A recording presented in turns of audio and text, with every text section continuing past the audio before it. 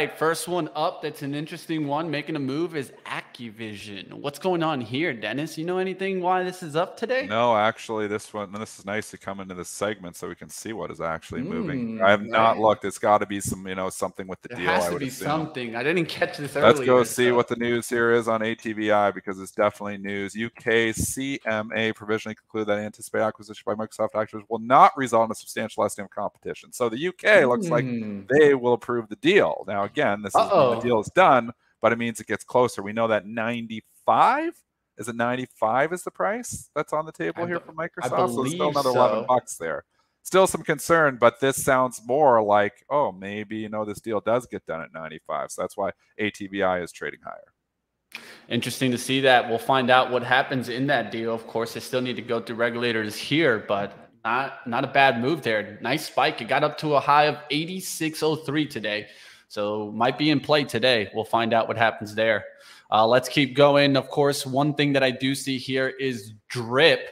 Drip is the leverage play to the bear side for oil. Just want to mention the oil news, of course. Uh, at least oil has been sure. tr- edging lower after Thursday's comments that they wouldn't refill the strategic petroleum reserves. And it this was stated by the energy secretary, uh, Jennifer Granholm, and she also stated that it might take several years to fill that back up. What do you think about that, Dennis, and the oil trade? Uh, it's all oil is moving is with the with the banks overall here. Again, mm-hmm. it's if I've actually been starting to pair trade XLE with IWM, believe it or not. Um, wow. To, yeah, because right now it's just um, moving again. Lots of debt in these companies. Banking crisis hits oil for sure. So there's a positive correlation between the banks and oil. It's not going to move as much at the banks, but you know what oil needs is stabilization in the banks. I know as people are say you're nuts, it's nothing to do with it. it. has everything to do with it. They borrow a lot of money from the banks. Oils are he- oil companies are heavily indebted. They don't want capital crunch. If we get in a banking crisis, capital and obviously gets tighter there, and you know credit sorry credit gets tighter there. So there is definitely a correlation there with oil and the banks. All right, I'm seeing GDX here. That'll be like kind of the last comment. The gold trade. Do you think this trade can continue? The yes. gold one?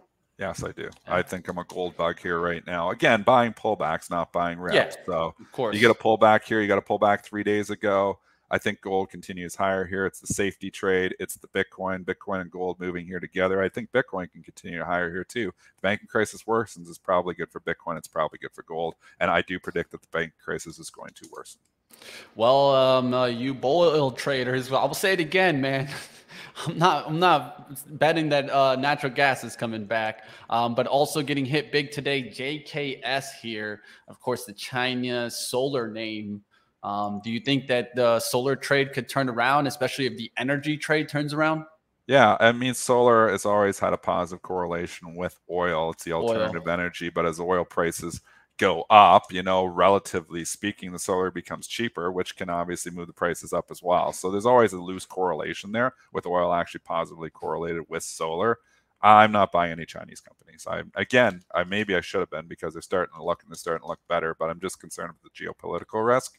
Again, you can see what I, I avoid things when I can't quantify the risk. I'm exactly. a risk reward trader. I look at risk first and then look at the return and extrapolate whether I can trade it from there. If I can't quantify the risk, the trade idea stops right there. I can't quantify the agree. risk on China stocks. I can't quantify the risk on banks, which means if I'm going to trade them, they've got to be hedged. I'm not taking directional bets when I can't quantify the risk.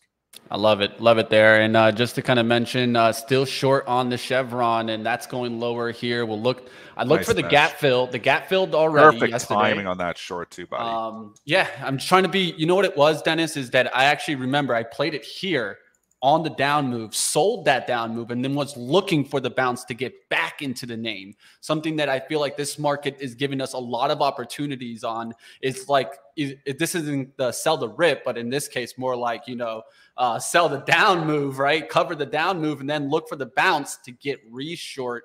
That's been working out for me because I just feel like this market is so chop chop. Even when you get that first swing down, a lot of times you're getting these bounces back up. So just be careful out there. Um, we'll see what happens on the oil trade. And just to give the last one that I have there, full disclosure, I also have XOM, ExxonMobil. 105.79 was able to take some profit yesterday. Going to look for this to continue down and maybe even getting into the double digits. We'll find out. Big part for me is just watching the XLE. Do we crack through this 75.36 low? If that continues to crack, now I really start seeing XLE like it's really starting to look broken. We'll find out what happens in the oil trade. All right, that's going to probably do it for me here on what the. down big here? Uh, you could see also JKS just, coin. We know the coin. It's just continuation. Coin, coin showing up. Yeah, coins down again here. This is continuation from the Wells. Um, mm-hmm, from the Wells report. Um, yeah. just to mention, Cathie did buy some more, but we won't get into that conversation. Uh, Boeing showing up here. Boeing and Caterpillar. So oh, that Boeing industrial and kind of moving with the overall market here too. Mm-hmm. Remember, mm-hmm. we just rallied. Sometimes the stocks haven't ticked higher here too. So yeah, Berkby, Adobe, these are all just mar- market moves here that are moving these things. And we'll okay. see if the industrial trade actually turns around. Right, it has been pulling back. We'll keep an eye on it. Like always, you guys can check out the extensive yeah, inventory sure. of short locates through Trade Zero. I'll give you guys the link right here, and we'll wrap up. Any last comments for you, Dennis, before we get caution selling into strength? So we will get more reps, we will get more rallies, we will have more hope, and I think those are selling opportunities. That is just my opinion. All right, that's going to do it for us. Have a good day, Dennis. We'll bring you back on like always and have a good weekend. Hope the family gets all nice and healthy Oh, weekend. man, we've been fighting Shout out bugs, to you guys. COVID, fighting everything over here. So prayers for my man Dennis's family Thank getting you. healthy. We need to get healthy. Definitely. I, am I'm, I'm ruining it for you, Dennis. Have a good trading day. Go Thanks, do what you do Thanks. best, my friend.